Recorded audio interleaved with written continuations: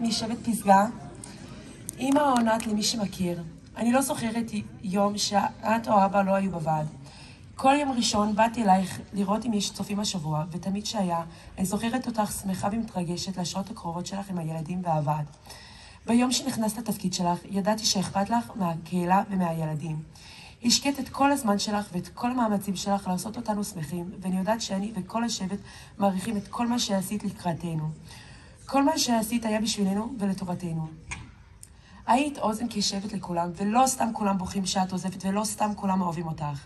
תודה לך, על, תודה לך על השנים הנפלאות שלך עם השבט שלנו. הלוואי היית מבינה על כמה השפעת ושנית את החיים של האנשים פה. הגישה שלך למקום הזה תמיד מחויבים ושמח, וכולנו תמיד נזכור את זה. אין מילים להודות לך על הדרך שלך פה. אני יודעת שתצליחי בכל דבר שתעשי בעתיד. השבט מקווה מאוד שתבואי לבקר, ונתגעגע אלייך ולתמונות הכי יפות באינסטגרם.